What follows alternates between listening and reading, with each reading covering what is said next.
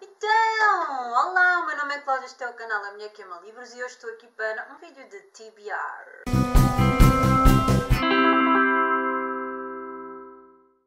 TBR de agosto, um mês em que eu não vou ter férias, vou ter os fins de semana praticamente muito ocupados, porque eu gosto muito de praia, de piscina e de sol e de passear. Então eu aproveito muito bem, muito bem este tempo, estes dias maravilhosos. E normalmente nesta altura só consigo ler em viagens, mas muito raramente, muito pouco. Mas eu estou confiante, estou confiante que o mês de agosto vai ser bom. Portanto, já coloquei no blog aquilo que li no mês de julho. Podem? E também coloquei uma foto no Instagram. Agora vou terminar Os Detetives Selvagens do Roberto Bolano. Bolano, Bolano, Bolano, Bolano.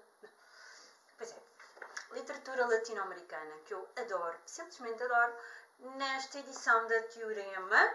E vai ser uh, a Quetzal vai editar todos os livros do Roberto Bolano. E este será também reeditado. Eu comecei a ler com a Carolina, uh, Holy Reader. Ela já terminou, mas eu ainda vou aqui na página 144. Portanto, devagarinho, devagarinho eu vou lá chegar. Olhem para esta diagramação. Hum? É um livro que prende, mas não é assim tão fácil de ler. Não, acho que é assim um bocadinho. Não sei se tem a culpa da edição, não faço ideia. As Vinhas da Ira também estou a ler, não terminei, e vou na página 172. Portanto, ainda falta um bocadinho. Este livro é um bocadinho mais lento, mas eu acho que vou terminar primeiro este do que Os Detetives Selvagens. Autor português, eu vou ler Céu Nublado com Boas Abertas, do Nuno Costa Santos, nesta edição linda da Quetzal, e um livro que se passa nos Açores, e eu estou com esperança de gostar muito, porque eu tenho ouvido coisas lindas, lindas, lindas, lindas, lindas sobre este livro. Para o meu projeto, para o meu projeto Inacabados, eu escrevi sobre ele no meu blog mais pessoal, mas consiste em terminar os livros que eu comecei e ainda não terminei. E uma história de amor e trevas do Amos Oz está lá. Eu comecei, fiquei na página 144, coincidência, Detetives Selvagens, 144 e agora também. Uh, e hum, eu vou então terminar. Eu estava a gostar muito e abandonei Parva. Muito Parva. Outro livro que eu abandonei, outro livro que eu abandonei e pretendo terminar, é O Labirinto dos Espíritos, do Carlos Ruiz Rafon, um espanhol lindo da sombra do vento. E eu estava na página, não sei, já tirei o marcador, certo? Ai não. Estava mesmo no início, não, nem sequer avancei quase nada, mas eu quero terminar esta série linda, maravilhosa, com personagens e despedir-me deles. Não quero nada. Entretanto, uma novidade da Don Quixote, da Zadie Smith, Swing Time. Swing Time uh, é um livro que eu comprei recentemente e vai contar a história da amizade de duas mulheres. As duas querem ser bailarinas, só que apenas uma vai conseguir, a outra vai ficar cheia de inveja.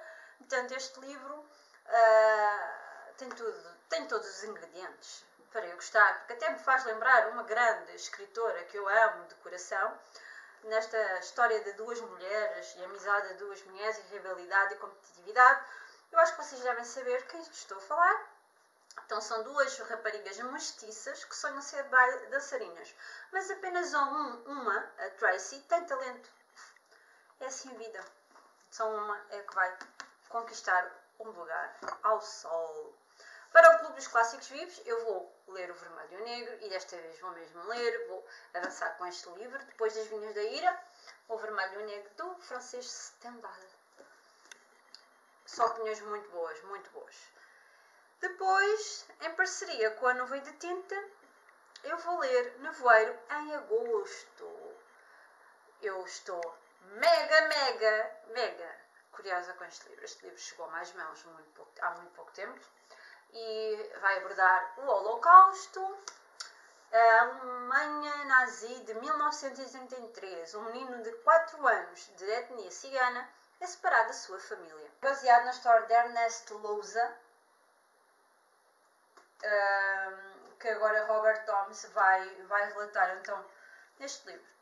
Vamos ter aqui muitas páginas, muitos livros e não sei, vamos lá ver. Eu vou ficar aqui escondida e vou, vou despedir-me e desejar-vos um excelente mês de agosto. 1, 2, 3, 4, 5, 6, 7, 8. Sou maluca. 8 livros. E muitas páginas. Um beijinho até o próximo vídeo.